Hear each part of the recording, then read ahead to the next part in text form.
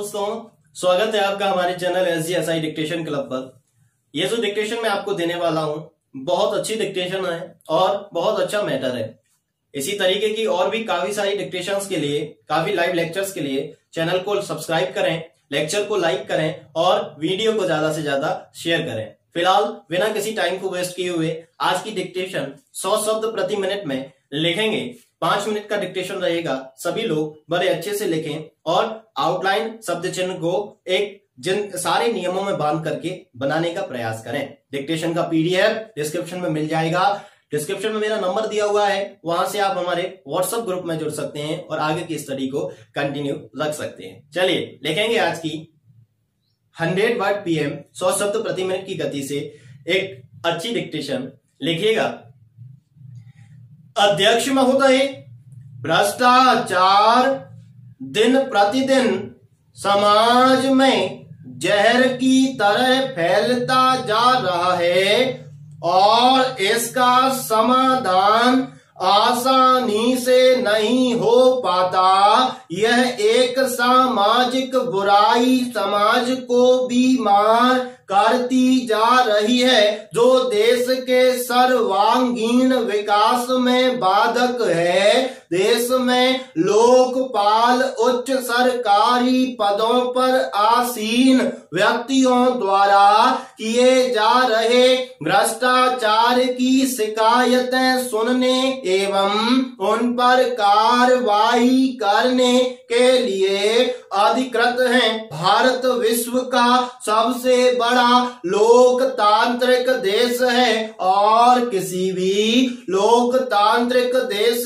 की सरकार के लिए ज़रूरत होती है शासन में पारदर्शिता, सत्ता का मनोविज्ञान बिल्कुल अलग किस्म का होता है। सत्ता में मौजूद लोगों को चाहिए कि देश की जनता के हित में काम काज करें। इस मामले में पारदर्शिता की आवश्यकता होती है। जब पारदर्शिता नहीं होती है तो भ्रष्टाचार पनपने लगता है। ऐसे में ज़रूरी हो जाता है। एक ऐसी संस्था हो जो बताए कि कहा और क्या गलत हो रहा है, समय पर उसकी जाँच हो। इस काम के लिए भारत के संदर्भ में केंद्रीय स्तर पर लोकपाल की आवश्यकता महसूस की जाती रही है। Paragraph change. भ्रष्टाचार को मिटाने और दूर करने के लिए विभिन्न देशों में समय समय पर अनेक कदम उठाए गए हैं। स्वीडन में सर्वप्रथम 1809 में संविधान के अंतर्गत ओम बुडमैन की स्थापना की गई फिनलैंड में 1918 में, डेनमार्क में उन्नीस सौ चौवन में, नॉर्वे में 1961 में ओम बुड्समैन लोकपाल की स्थापना भ्रष्टाचार समाप्त करने के लिए की गई। विभिन्न देशों में ओम बुड्समैन को विभिन्न नामों से जाना जाता है। इंग्लैंड में इसे आयुक्त के नाम से जानते हैं। भारत में इसे लोकपाल के नाम से जाना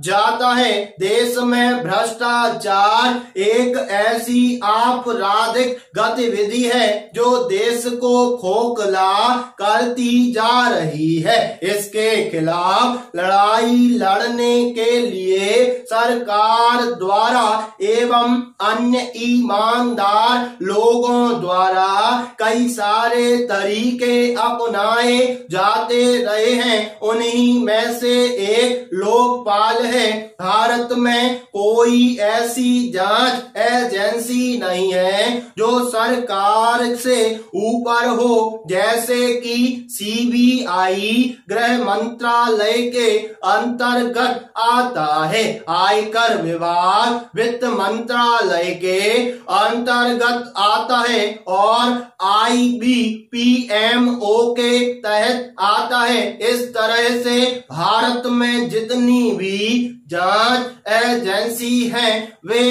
किसी ना किसी मंत्रालय के तहत आती है। ऐसे में कोई भी जाँच एजेंसी अपने ऊपर के विभाग की जाँच नहीं कर सकती है। इसलिए हमेशा एक ऐसी एजेंसी बनाने की मांग की जा रही थी, जो सरकार और मंत्रालय दोनों से ऊपर हो। भ्रष्टाचार से निपटने के लिए ऐसी अवधारणा बनाई गई जो सभी सरकारी विभागों से भी ऊपर हो और इसे ही लोकपाल कहा गया है। लोकपाल शब्द की उत्पत्ति संस्कृत के शब्द लोकपाला से हुई है, जिसका मतलब होता है लोगों की देखभाल करने वाला। अतः लोकपाल शब्द से ही पता चलता है कि यह जनता के हित के लिए होता है। है। दरअसल लोकपाल एक भ्रष्टाचार विरोधी प्राधिकरण है, जो भारत के गणतंत्र में जनहित का प्रतिनिधित्व करता है। स्टॉप चलिए, सभी बच्चे लेक्चर को लाइक करें चैनल को सब्सक्राइब करें और डिस्क्रिप्शन में पीडीएफ मिल जाएगा। वहाँ से डाउनलोड करके अपनी डिक्टेशन को आकलन करें और उसको मिलाने की कोशिश करें। नमस्कार।